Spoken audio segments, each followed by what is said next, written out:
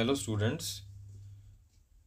There are various coordinate systems in AutoCAD. One is absolute coordinate system, second is relative coordinate system, third is polar coordinate system. There is one more method by which you can directly draw a line by entering the length of line and the line will be drawn in the direction of the cursor. Okay, so if your cursor is pointing in the direction in which you want to draw the line, you just enter the length of line. You need not enter any angle. You need not enter any coordinates, right? So this is known as direct distance entry method. The second option that we'll be discussing in this video is ortho mode. So ortho mode is an option which restricts the line to be drawn either in horizontal or vertical direction only right?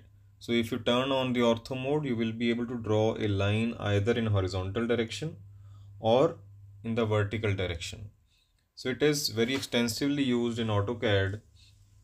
The function key for ortho mode is F8 let us discuss these both options now I activate line command. Let us suppose this is my first point. This is my start point. Now I want to draw a line of 40 mm. So I just write 40 you can see here I have just written 40 and I am pressing enter. I want to draw a line in this direction. Press enter.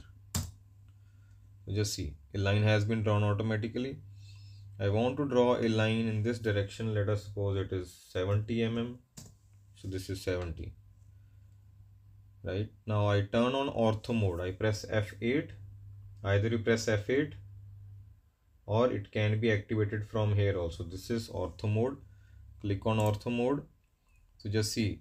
Your line it has been the direction of the line has been changed to horizontal or you are able to draw a line in vertical direction only. So let us suppose I want to draw line, draw a line of 60 mm press enter. I want to draw a line of 70 mm horizontal in the horizontal direction press enter. Right? Let us dimension these. Let us see what is the length of these lines. So go to aligned system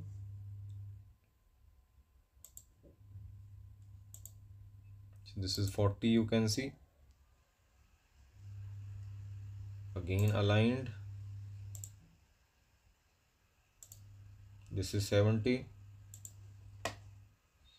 now linear.